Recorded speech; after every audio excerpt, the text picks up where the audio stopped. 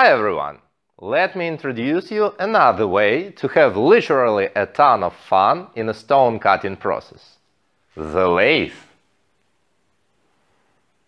All it's 5 meters and 6 tons. But first of all, let's install the blank and see what it can do, and then I'll bore you with the details. The workpiece does not need any preparation and was given to us by the client. The only thing I had to do was drill the center hole. This piece of granite weighs a quarter of a ton, so I also need a loader.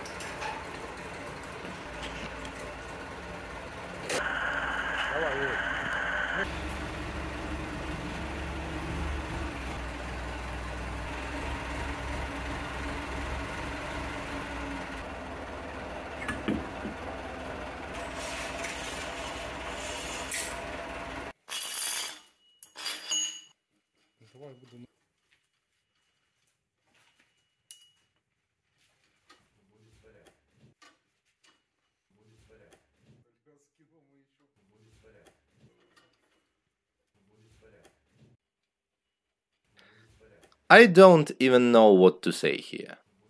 This is the way.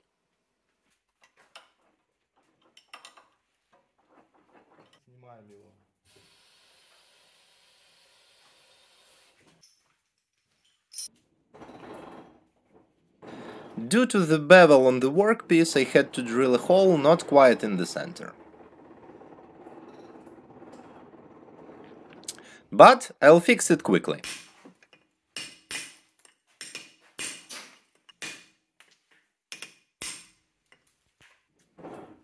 Maybe not so quickly.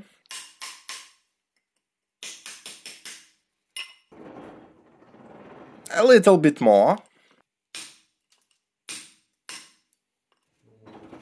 Any minute now.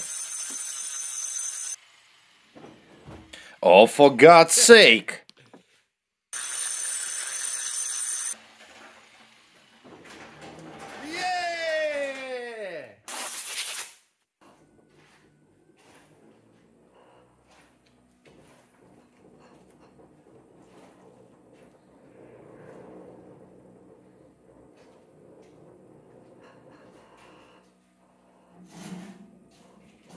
Tight fit. Anyway, let's start.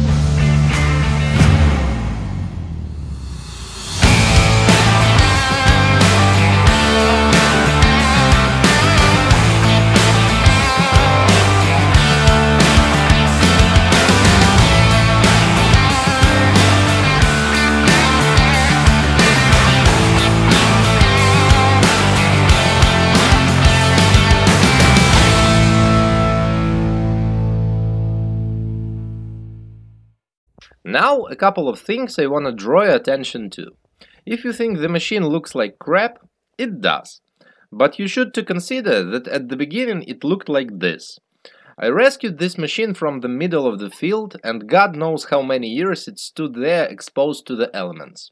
The purpose of this purchase was to have a large solid frame around which I can build everything else. And here is what I've been able to achieve so far. First, as you can see, it works.